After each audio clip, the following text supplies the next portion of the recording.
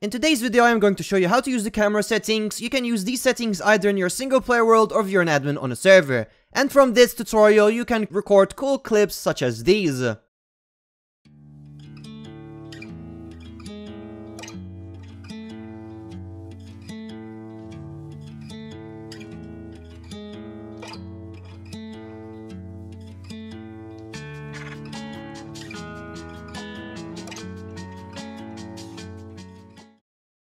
For the camera settings, there are multiple options. In order to go into the camera settings, you need to either press Shift F1, which will go into orbiting, Shift F2 will go into tracking, Shift F3 will go into locking, Shift F4 will go into focusing, Shift F5 will go into smoothing, Shift F6 goes into the building, and Shift F7 goes into spectating, and we are going to tell you what each of them does. When you are in F1 and you press Shift F whatever that you're going to be using, next to your FPS and to your ping, you will be able to see what you have enabled. So currently what we do have is shift F1, which is orbiting. So basically what orbiting is, is that you can move your camera around. You can also use Q to ascend and E to descend. Something else that you can do when you're into your camera settings is you can press control and you can use the mouse wheel to either zoom in or zoom out. This is also used for, for example, when you're doing thumbnails or we just want to zoom in a lot to your character for screenshots. In order to also make the camera movement faster, you can just use the scroll wheel. If you move the scroll wheel up, then it will go faster. If you move the scroll wheel down, it will go much slower. When you're orbiting, you will not be able to move your character, but you can still punch and if you, for example, have a gun, you can still shoot. Next, let's go over to Shift F2, which is tracking.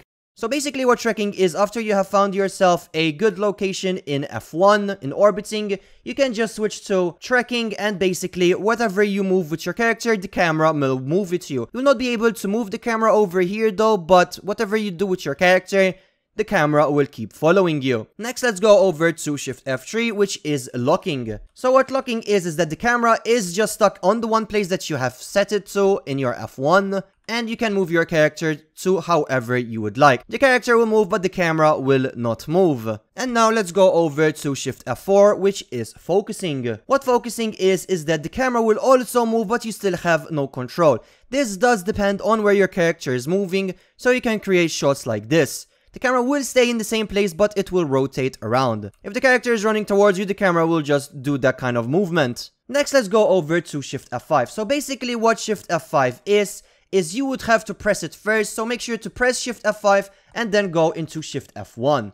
What this does is that the camera movement is much smoother. There's not going to be any bumps or any of that when you're moving your camera. It is much more smoother and makes some really nicer shots. I really really do use this for example when I'm recording myself an intro for one of my videos and it does make it look 10 times better. There's no certain bumps like you can do for example when you're using shift F1 and you don't have smoothing on and you can just do like this. On smoothing you cannot do it is just much much smoother. Next let's go over to the building menu. So the building menu is shift F6. Now what this does is basically you would be able to move buildables and you would be able to rotate them. So what you can do for example is you can just click on a buildable. Over here as you may see there are colorful arrows and each of them depends on where you can move it. The green one is for going down, the blue one is going towards you, and the red one is go moving it sideways. Also, something else that you can do is if you press yourself W, you would be able to rotate them. So you can always do this kind of stuff. You can just rotate your buildables to whichever direction you would like. And then if you want to go back to moving the item, just press Q. If you would like to move a lot of the items at the same time, what you can do is you can just go into F1, press Shift F6, and you can just do this and you would be able to move everything at the same time. If you would like to select specific items, so for example you want to select the pillar and the roof, you can just click on them and press Shift, and you would be able to just move those two items. You can just do them however you please, if you would like to, again, just move everything, you can just press W to rotate and you can rotate everything that you would like. And finally, we have Shift F7, which is legit wall hacks. Now, this is usually more used when it comes to multiplayer servers. Basically, what this does is that if you're on a server and you do press Shift F7 and you open the map, you can see where every single player on the map is. You would be able to see player names. So, for example, right now, the only player on is me. But if you press Shift F7 and I'm going to unpress it right now, you can see my name and you can see where I am from wherever you are on the map.